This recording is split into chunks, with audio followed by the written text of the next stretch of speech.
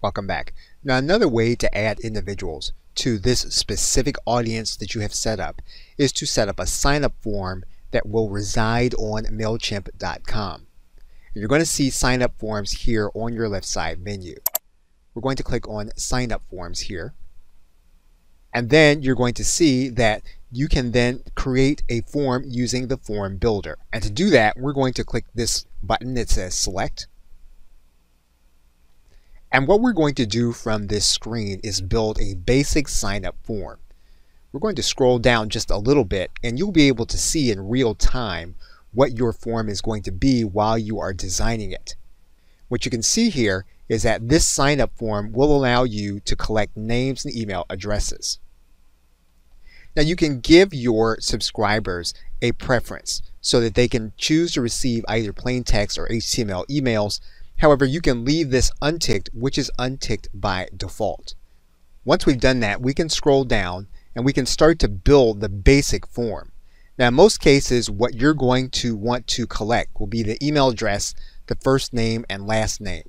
If you want to add in things like an address or phone number, you can add those things in. As you can see here, these things are going to be hidden by default.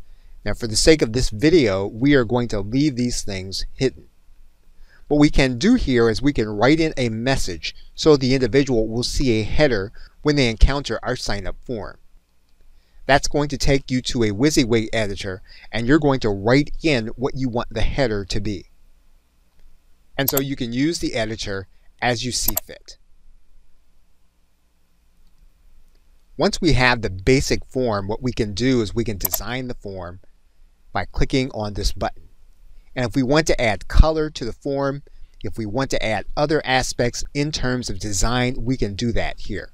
Once you complete your customization, you're then going to see your sign up form URL. You're then going to want to copy that URL and place it in your browser so that you can test it.